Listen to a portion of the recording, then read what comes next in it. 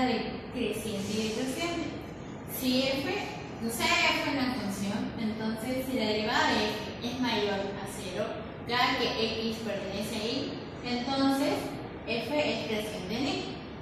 Si la derivada de f es mayor o igual a 0, ya que x pertenece a y, entonces f no es creciente en y.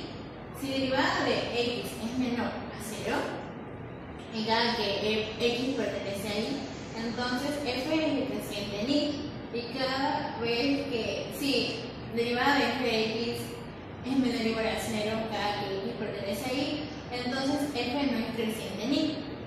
Y si derivada de x es igual a 0 en cada que x pertenece a y, entonces f es constante en y.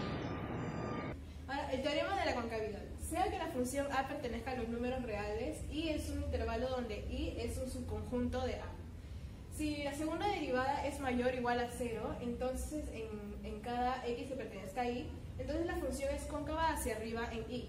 Y si la segunda derivada es menor a 0, eh, menor o igual a 0, en cada x que pertenezca a y, entonces la función es cóncava hacia abajo en y. Gracias. La concavidad cambia, sea f todos los reales e y un intervalo. Si a es un punto de inflexión en f y dos veces derivable en dicho punto, entonces la segunda derivada de a es igual a 0. f a todos los reales de una función.